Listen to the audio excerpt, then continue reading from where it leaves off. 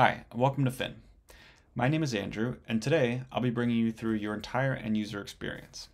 Now, the end user experience is consistent of three main pieces. The first is phishing simulated emails, second is training course modules, and the final piece is reporting. So starting with phishing simulated emails, Phin has a variety of phishing email templates. So uh, if you were to receive a Phin phishing email, this is an example of what it might look like. This is one coming from FedEx.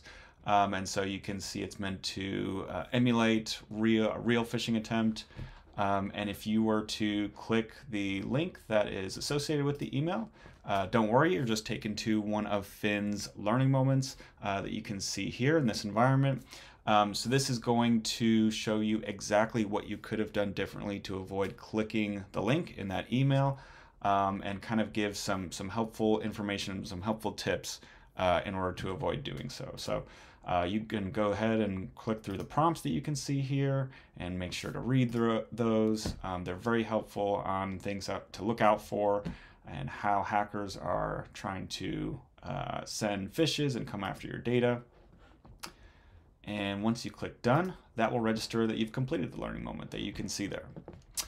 Now, training is also very straightforward. Uh, this is an example of a training reminder uh, all of our uh, trainings are sent via email, uh, via these training reminders. Uh, you do not have to create an account.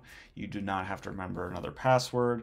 Uh, it's all email based. So once you get the training reminder, all you have to do is click to view via this link. And this will take you to your uh, homepage for training. So this is our LMS, and you can go ahead and see everything that's assigned to you right here, everything that you've completed, or just all of it if you wanted to see it that way.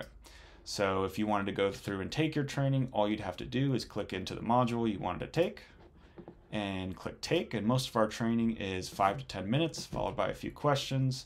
And you can see kind of a summary, go through the video, and then the assessment at the end. The final piece is going to be reporting, and this is more geared towards uh, decision makers uh, at a company. And so uh, work with your managed service provider or your IT provider to set these up with Phin. Um, but basically, you can see uh, kind of an example of what this might look like. Here's an executive summary uh, for this company. Uh, you can see the total number of phishes sent and phishes clicked, learning moments completed, which is zero because there were no phishes clicked, uh, and then number of trainings sent and completed. and so that was zero. So it, it will combine the total number of of phishing data and training data to give kind of an overall program grade uh, for the month and then compare it to last month, which in this case would be November 2023. Um, so you can go down through and see kind of the uh, some of the high level overview information, uh, some of the trends over the last 12 months, um, you know, broken down by each month. Uh, number of users that are up to date on their training, which in this example is none of the users, so uh, that's all incomplete as we saw from the executive summary. You can see uh, a graph of top click phishing email templates uh, for that month broken down in a pie chart, uh, and then percentage of users who have completed this month's training as well. So uh, and additionally, you'll have, you can have optional fields in here such as users to watch, uh, this will highlight any users that have uh, either not completed their training, uh, who have clicked on a phishing email, or who have done both, um, kind of highlighting those users.